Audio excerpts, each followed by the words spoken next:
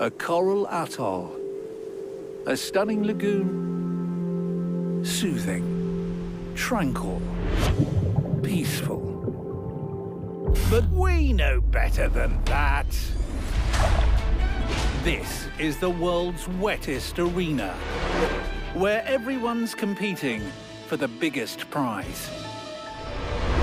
Survival. It's an all-out arms race. Best eyesight. Fastest punch. To survive here, you need to be fierce. There's no attack too weird. And no defense too deviant. Some predators work hard to survive. And some survive on others' hard work. We've met Ocean's weirdest prize fighters. Now let's meet the romantics. There are those that go to incredible lengths to find love. In the sea of love.